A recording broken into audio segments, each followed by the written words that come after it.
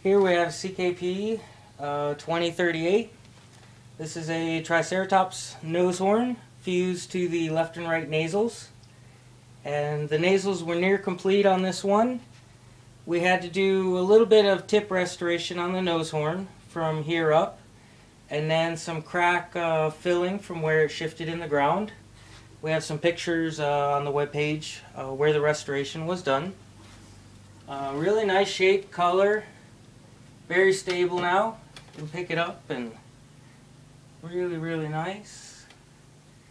Measures 26 inches long and really, really nice detail. Uh, blood grooving in the uh, in the bone, and underneath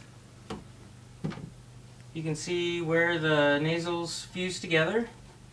And right here you can see this is where the premaxilla would fit in the front beak of the Triceratops.